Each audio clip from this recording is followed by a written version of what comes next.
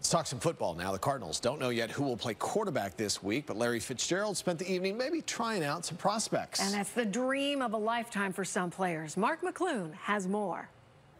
Monday was an off day for Larry Fitzgerald, but he was still on the football field, teaching the game to some of his biggest fans. Well, you know what? I get to do camps for guys, and I get to do camps for young kids all the time. But you know, we want to do something for the ladies, give them an opportunity to come out and, um, you know, live their inner football player. We saw a posting on Facebook for it, and we all were lifelong Cardinal fans, season ticket holders, and we just love the Cardinals. We love Larry. He's just a great guy. He's everything that I would I expected of him, actually. Chris was able to do something that most NFL defensive backs can't.